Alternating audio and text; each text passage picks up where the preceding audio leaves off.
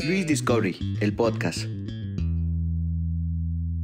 Hola, buenos días, buenas tardes o buenas noches. No sé cuándo estén viendo el podcast, pero hoy tenemos una historia que contar y estamos muy contentos porque tenemos a la culpable.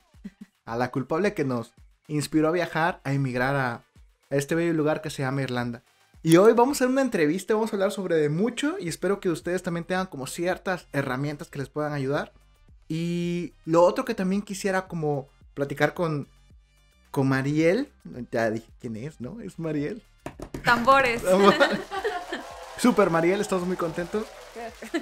Y bueno, sin más que nada, iniciamos. Hola Mariel, ¿cómo estás? Hola, ¿cómo estás Luis? Muchas gracias por la invitación. Estoy muy contenta de estar aquí. Acepto mi culpa, yo fui la culpable. Yo los convencí de que llegaran a Irlanda.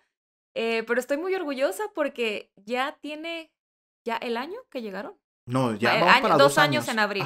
Recuerdo mucho la fecha eh, y cómo han avanzado y verlos bien, verlos felices y sobre todo esta parte de decir, no nos arrepentimos de esta decisión. Sí, estuvo muy padre. Hay días muy buenos, unos días no tan buenos, pero se vuelven buenos. Sí. Y siempre positivos, ¿saben? Eso creo que es lo más importante y lo que aprendimos con contigo. De verdad, es que tengo muchas cosas que platicar. Podríamos hacer tres horas aquí de podcast. Ya sé, ya sé. Oye, cuéntame acerca de ti. Porque hay mucha gente que seguro va a ver el podcast y no sabe quién eres. Pero las personas que ya están aquí en Dublín eh, saben perfectamente quién eres, ¿no? Entonces... bueno, eh, a ver, yo soy de México, soy de Pachuca. Nací en Pachuca, viví, de hecho soy de pueblo porque viví un tiempo en Tianguistengo, Zacualtipán, que es como un pueblito de la Sierra Hidalguense. Estudié en la universidad en Pachuca y em, llegué aquí en 2017 y estudié turismo allá, yo quería practicar inglés, no hablaba inglés cuando llegué, como varios, eh, y, y, supe del programa Estudia y Trabaja, de que, bueno, puedes trabajar, mm, para los que no saben, ya voy a sonar a comercial, pero eh, puedes trabajar aquí legalmente mientras estás estudiando como mexicano si no eres europeo. Eh, y vienes a estudiar inglés. Entonces yo sí tenía mucho en la mente de voy a ahorrar, porque bueno, no es barato, ahorré y llegué acá. Em, llegué en 2017, en agosto comencé la escuela. Mi primer trabajo fue niñera. Primero fui niñera. Este, al principio me daba mucho trabajo con el, con el niño porque él tenía seis años, entonces lo tenía, le tenía yo que ayudar a prepararse para ir a la escuela y recogerlo y luego jugar con él de una a cinco.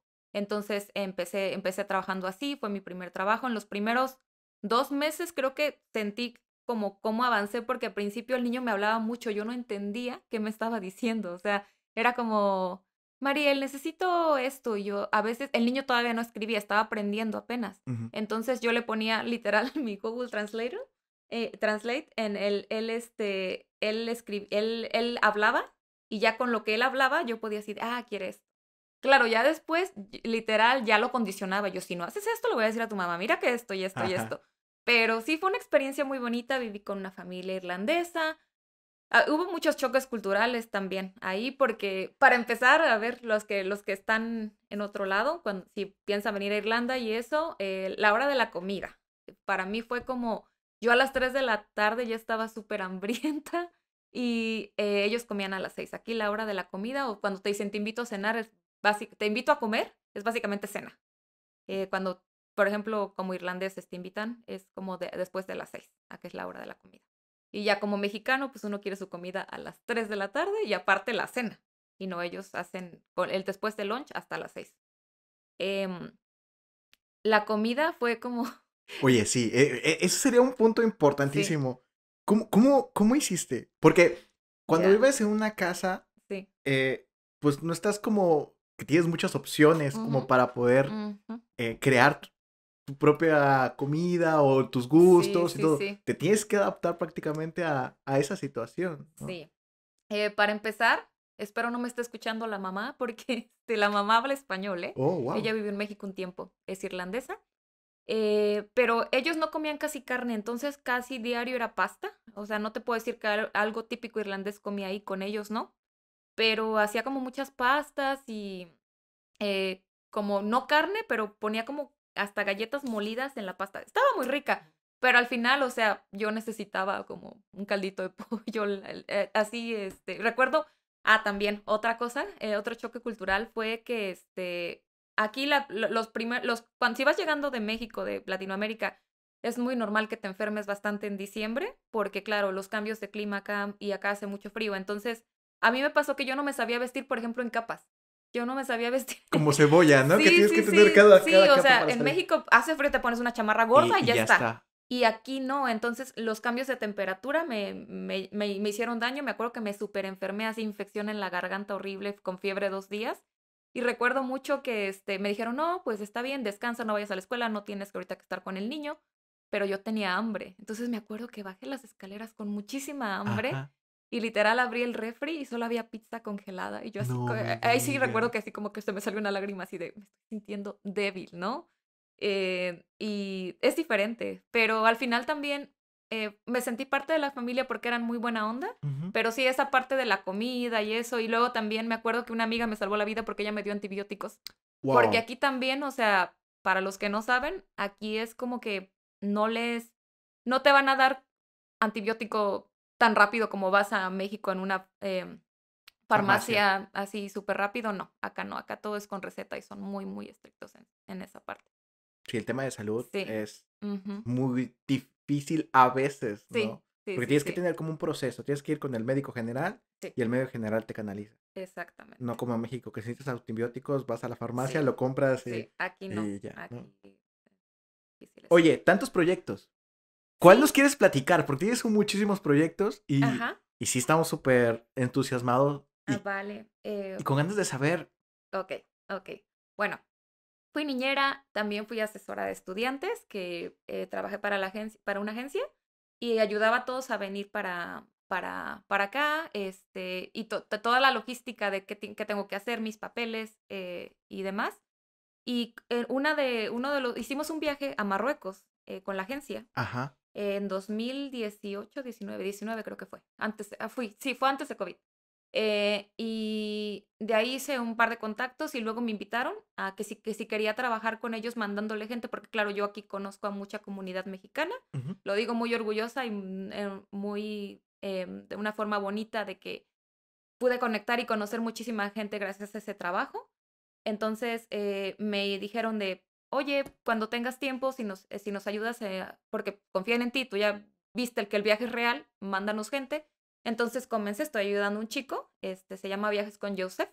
Aquí este, vamos a dejar aquí en la descripción toda la, toda la información que necesitan por si están en, en, no nada más en Irlanda, sino en Europa y quieren viajar a Marruecos. Es súper barato, cinco días, cuatro noches, 170.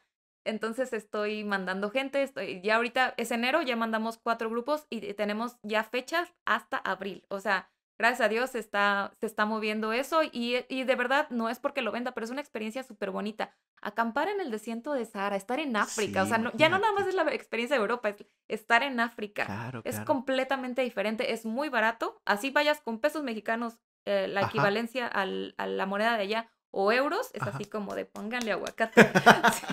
Sí. Y, y 170 y te incluye todo, te recogen en el aeropuerto, no te tienes que preocupar por nada. Está buenísimo. Sí, entonces esa, esa parte sí estoy muy emocionada porque... Oye, ¿y puedo, y, y puedo estar con los camellos? O sea, ¿me puedo subir con los camellos? Sí, sí, sí, o sea, el día 3, el día 1 te recogen en el aeropuerto, te enseñan la logística, puedes explorar Marruecos. El día Ajá. 2 empieza como la travesía, eh, to- hotel, desayuno incluido, las comidas incluidas, lo cual está súper bien. Sí, está buenísimo. Y se van, o sea, el primer día empieza la- el camino al, al, al, desierto, al, desierto de Sahara, y vas, vas a hacer una parada en, este, en una, ahorita se me acaba de ir el nombre de la ciudad, pero es donde han grabado muchas, peli- muchas películas como Juego de Gla- Tronos. Gladiador, Juego de Tronos, y eso es una Sí. ciudad, a mí me impuso mucho, es súper bonita, o sea...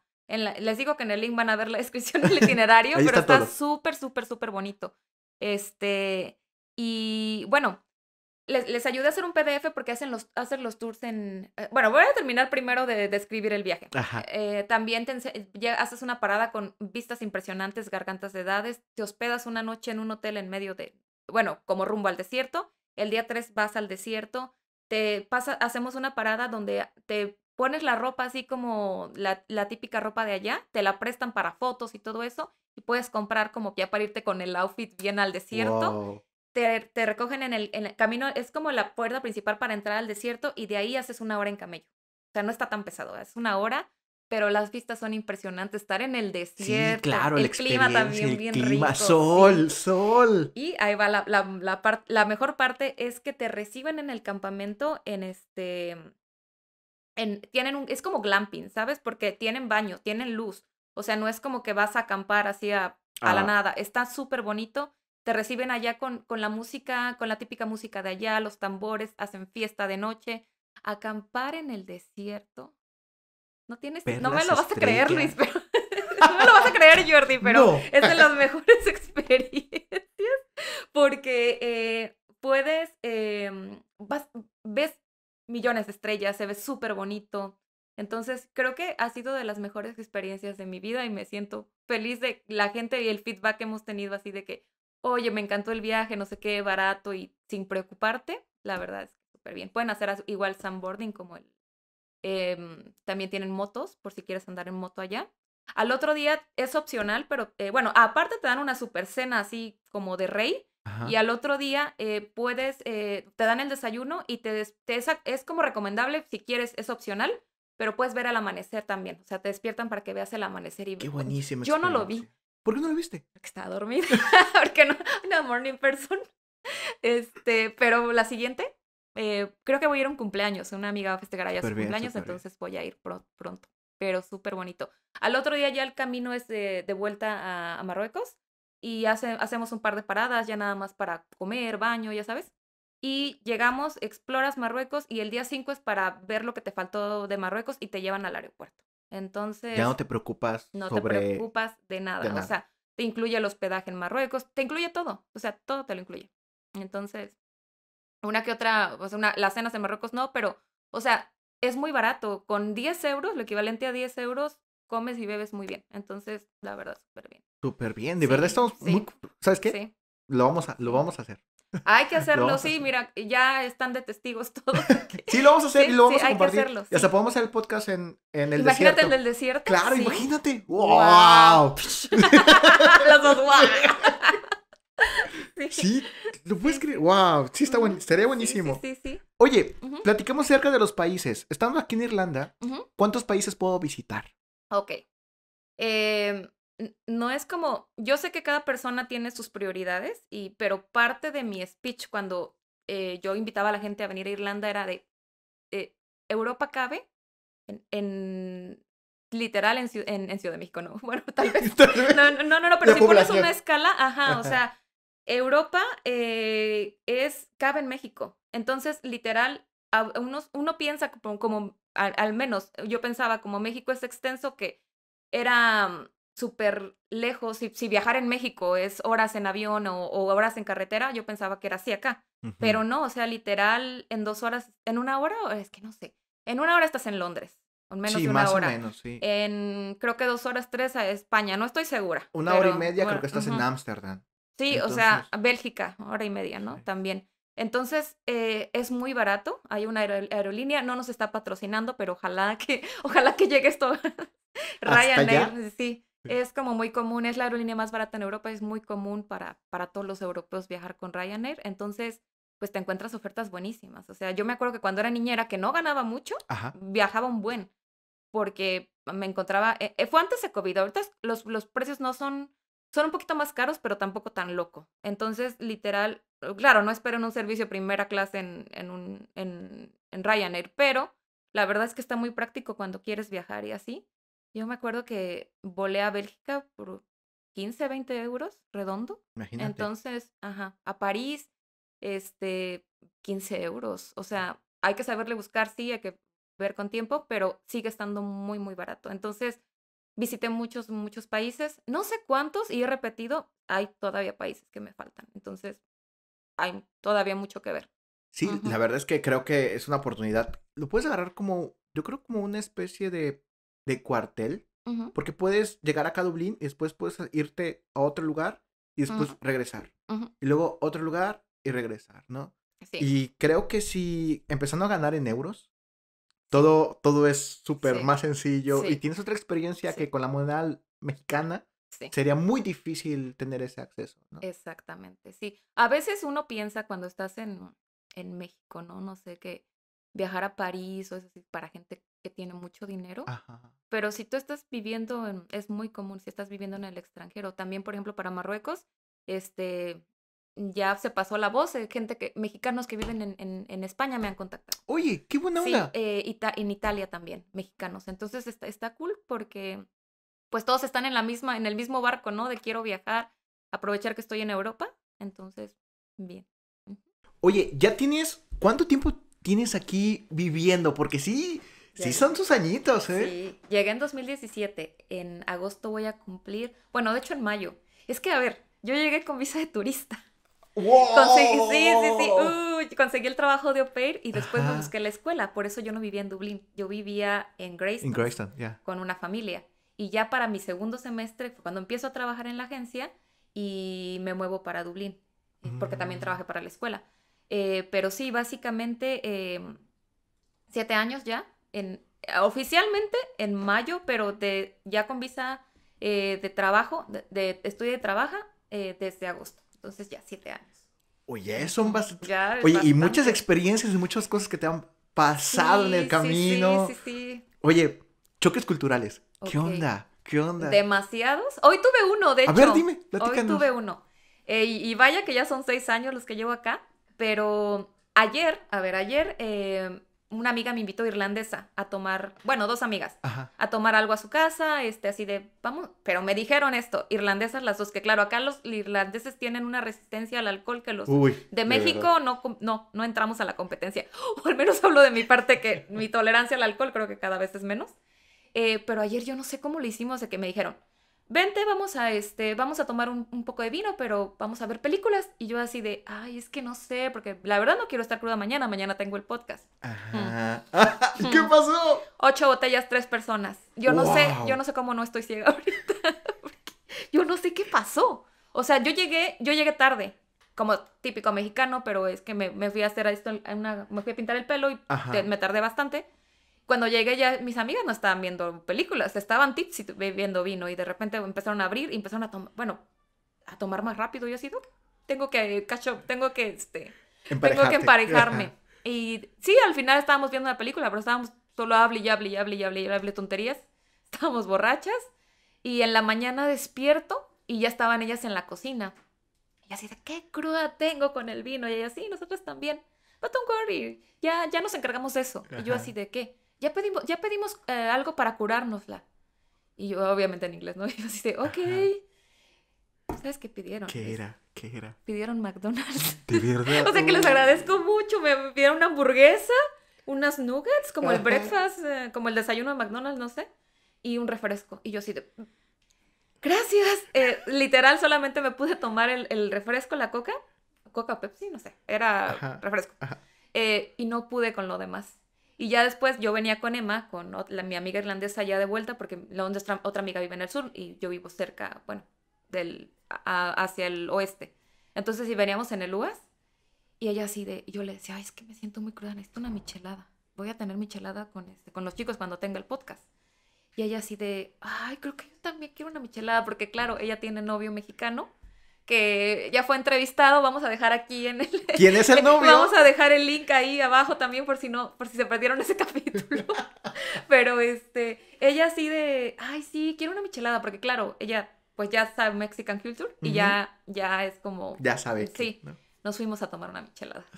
Súper bien. Ujú. Que, pero es bonito, ¿eh? Porque, por ejemplo, tengo una amiga irlande- irlandesa, este, polaca, Polaca, que igual cuando estábamos crudas, ella ya literal me levantaba, vivíamos juntas, ella ya estaba haciendo los chilaquiles. Chilaquiles. Sí. Y ahora cada que está cruda ella también está algo picoso. Y antes la gente no lo entendía. Es que de verdad que yo le, yo le he enseñado la michelada.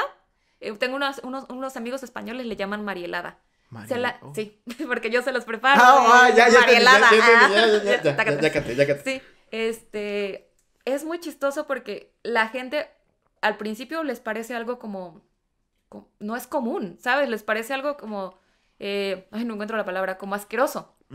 Por la Pero, mezcla de tantos un- un ingredientes. español- Un amigo español me dijo, ay, pero es que eso parece sopa, que no sé qué, y, yo así, te va a gustar, tómatelo porque te va a curar. Y no sé si se hace psicológico, qué sé yo, pero necesitamos este. necesitamos con toda la michelada. Sí. Este. No sé si sea psicológico, pero necesitamos esa parte picosa. Entonces, está padre también ser embajadora. Soy embajadora de las micheladas en, en Mira, Dublín. mira, Lo voy a poner en mi Instagram. embajadora de las micheladas. Un negocio aquí, Mari. Mari... Y si abro un negocio de micheladas. No estaría mal, ¿eh? De verdad. Eso, eso falta acá para los mexicanos. Bueno, están los restaurantes, pero las micheladas locales. Sí, yo ¿no? creo que eso Sí. sería ¿Qué tal? como ¿Te gustó tu Una, michelada? sí, buenísima. Es muy, muy, muy buena. La recomendamos. Aprobado. Aprobado. Sí, ¿sabes? Pero ¿sabes qué? Sí me gustaría como en- una... Como en una licuadora. una licuachela. Una licuachela. Las con gomitas. Fíjate que como ya llevo acá bastante tiempo, todo lo que ha sido, que han salido de micheladas y eso, eh, que, que todos los inventos nuevos son para mí así como... Oye, eh, sí, esa es lo- la, Ujú, la otra, ¿cómo? la otra parte. ¿Qué onda? O sea, eres mexicana, Sí, pero viviendo seis años, Sí. casi siete. sí. eh, hay muchas cosas que De las que me estoy perdiendo, sí. pasan por alto, porque pues ya tu contexto ya es diferente, Sí. ¿no? Ya, ya estás Sí, en, sí, en otro país y estás como más involucrada más acerca de la isla, ¿no? Acerca de, de Irlanda, lo que sucede, cómo se mueven las aguas y todo ese rollo, Ujú. ¿no? ¿Extrañas México? Bastante, bastante, o sea, más últimamente siento, porque al principio todo es nuevo, tienes una, ¿cómo se dice? Como, em, te impresionas más fácil de, de todo. Yo recuerdo cuando recién llegué a Europa, primero pasé por Madrid y tomé el, el metro hacia la Gran Vía y cuando, o sea, su- en- eh, saliendo del metro, ver la Gran Vía para mí fue impresionante. Claro. Y cada que, no sé, vi brujas, me encantó. Luego llevé a mi mamá, pero ya la segunda vez fue como de, ah, está muy bonito. Vas perdiendo la, la el Capacidad sentido. de sí. asombro. de- Ajá, entonces yo siento que ahora que vaya a México es como de cosas tan pequeñas que, no sé, que terminas valorando más. O sea, incluso ir a las quecas el- los sábados, ¿no? Que acá no existe eso. Este, sí extraño bastante mi familia y la, la comida, pero la comida sí es algo que, uf, que Que sí, sí, Sí. se extraña. sí, El sí, otro sí. día estaba yo durmiendo, soñando, Ajá. que estaba pidiendo tacos en un puestecito. Yo quiero vivir ese O sueño. sea, sí. que sí. Sí. Y dije, despierto y dije, wow, era un sueño. Pero estaba Sí. muy triste, estaba deprimido de que... Tú de ya que- te estabas saboreando Sí, el de verdad, taco. y yo así como... Y Y pelea- peleando con la gente para que me sirviera. No, a mí dame tres, dame tres, yo llegué primero, ¿no? Y así, nada. Es triste, ¿sabes? Sí, Porque por más que quieras replicar o, o hacer la comida que conocemos, los ingredientes no son los mismos. Y probablemente, eh, yo creo que también ahí viene otra manera, es qué tanta capacidad de adaptación tienes. Eso ¿no? es lo importante, sí. A ver, yo te voy a ser sincera. eh, yo no cocinaba nada cuando llegué acá, o sea, literal un huevo frito ahí más o menos. Los, dir- dirían, los huevos ahogados se me salvaban. No cocinaba ni madres, o sea, porque pues en mi casa siempre tuve la suerte de que pues mi mamá, mi abuelita o la Ajá. gente que nos ayudaba eh, cocinaba. Aquí aprendí y ahora, y, pero es por, por la necesidad, aprendes, te adaptas y... Por ejemplo, con Ezequiel, que él, él no sabía cocinar allá en México, nunca cocinó, y acá empezó y se hizo buenísimo. O sea, no soy nivel Ezequiel, pero tengo sentido común con la, con la comida. Sí. Y me, me gusta, me gusta. Oye, ¿y te, y, y te has adaptado con la comida que no lleva picante? ¿O siempre No, llevas no, a la, no. a la Eh, una, una salsa en tu mochila por... Mi novio me invitó al cine hace poco. Ajá. Eh, es el cine este VIP que tienes los sillones y llevaba en su bolsa. Te traje tu Valentino, seguramente la ibas a necesitar. Yo así de, "Ay, sí". Literal, sí. O sea, no puede, o sea, puede salir de México, pero no México. ¿Cómo es? Hay una frasecilla. Puedes salir de México, pero México no va a salir no va a de ti. salir de ti. Entonces, esa parte eh, de siempre buscar algo picante, no solo cuando estás crudo, sino siempre, eh, no te vas a ver la comida igual. Entonces, creo que mm, es muy típico de mexicanos que estamos buscando los... Aquí con qué trabajos vas al cine y pides tus nachos con, con jalapeños y te dan tres jalapeños. O sea, Eh, sí, sí, y sí. es como de, no, quiero algo picante. Y no pican, están bien dulces, Una, es- hace poco igual fui a un restaurante y eh, estaba cruda, para variar. Ma- Mariel, van a es que fui pensar- una, fui a una boda, fui a una boda. Ah, ok, ok, ahí se entiende, ahí se entiende. Al otro día este, fuimos a desayunar y pedí un sándwich y les dije, ah, ¿me puede traer una salsa, la que tengas, no sé qué? Ah, sí, sí, no te preocupes, salsa. Me llevaron pico de gallo, como tipo pico de Pico gallo, de gallo, ajá. pero sin picante, o sea, na- o sea, sin el chile. Entonces era así, ay, qué rica. Qué No ¿sabes? Pero bueno, te adaptas. Consejos. Vámonos Uh. con los consejos. Ok. Son casi siete años. Ujú. ¿qué consejos le darías a las personas que piensan venir, las personas que ya están aquí? Sí. Y para terminar, eh, ¿qué mensaje te gustaría compartir con todos nosotros? Voy, a, voy a poner el consejo general con el mensaje porque siento que es importante decirlo y, y yo siempre lo he dicho. eh, yo creo que la mejor forma de, de llegar a un lugar, no importa el país o no importa dónde te pares, es que sea sencillo y agradecido. Eso es la, o sea, a mí me ha tocado recibir bastantes estudiantes y yo siento que cuando tú llegas humilde por aprender y no de, ay, lo sé todo, me tocó darle un tour una vez a un chico, le dije, Uy, ¿de mira, ese es el spy, ya sé, y yo, pero es tu primera vez que lo ves, sí, pero ya lo leí. Y es como, de, ok, cool. Ya vi videos en YouTube. Ajá, ajá. Sí, ya vi Alan por el mundo, ¿no? no Ah, vi- sí, vi este Luisito Comunica. Luisito Comunica. Sí, pero literal, tú vienes a aprender y, y a- a- tienes que venir abierto a, a, la a todo tipo de culturas, porque aquí conoces muchísima gente de varios países, no nada más de Irlanda. Eh, sé sencillo, sé agradecido, porque siempre es, eh, aprender, aprender, aprender. Y yo creo que también eso te abre las puertas o te las cierra si no eres sencillo. Entonces yo creo que, a- que recibí tanta gente eh, o hasta donde estoy ahora, yo siento que no cambiaría nada porque siento que la parte de hace- hacer amigos y así te va conectando. Entonces mucha gente, y me ha tocado desgraciadamente a veces que cuando vienes de México hay gente que trae un cierto ego de allá o se sienten un poquito, ay, ya me voy a vivir al extranjero o, o estando acá quieren impresionar a la gente que está allá, ¿sabes? Entonces es como de no, güey, o sea, no, güey. No. Este, amiga, date cuenta. Sí. Eh, yo creo que como, como, como te comportes vas a tener como tu karma, ¿no? Entonces, Ujú.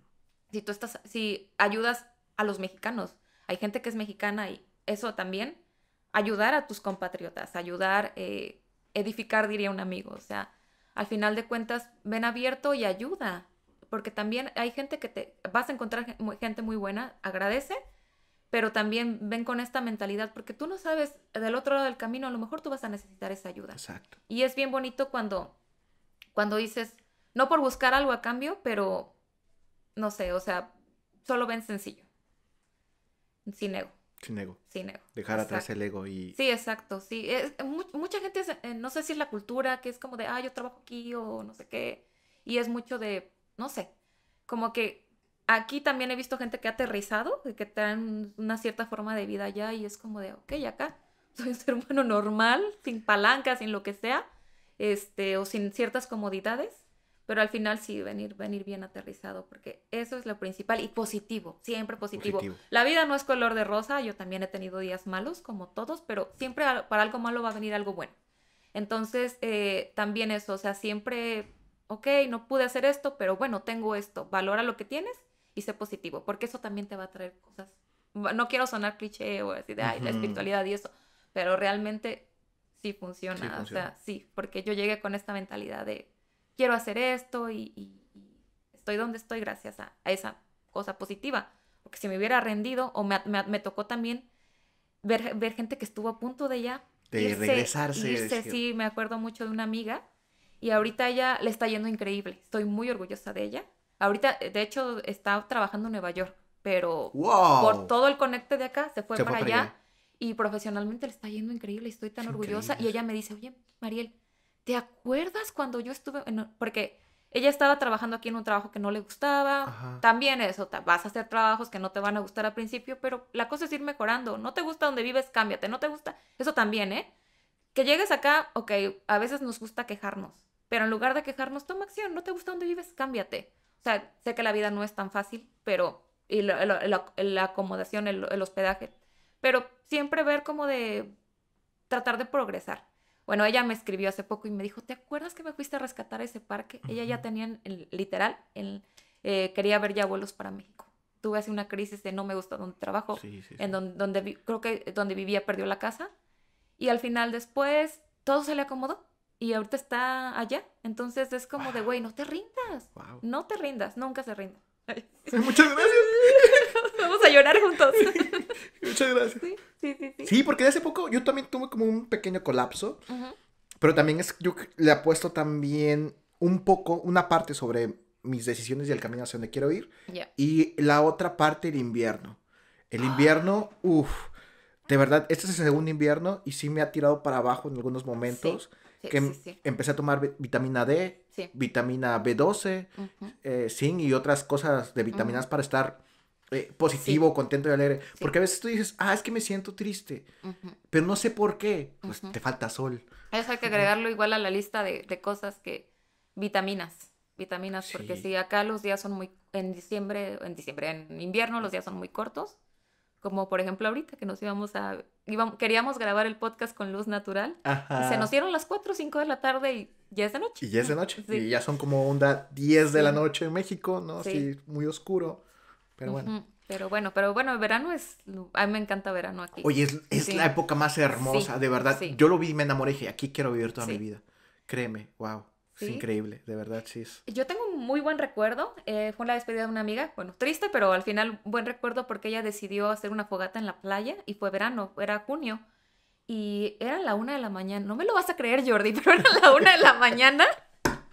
Era la una de la mañana y este. Y todavía había como un poco de luz. O sea, veías la luz a la una de la mañana. Wow, O sea, eso es- como.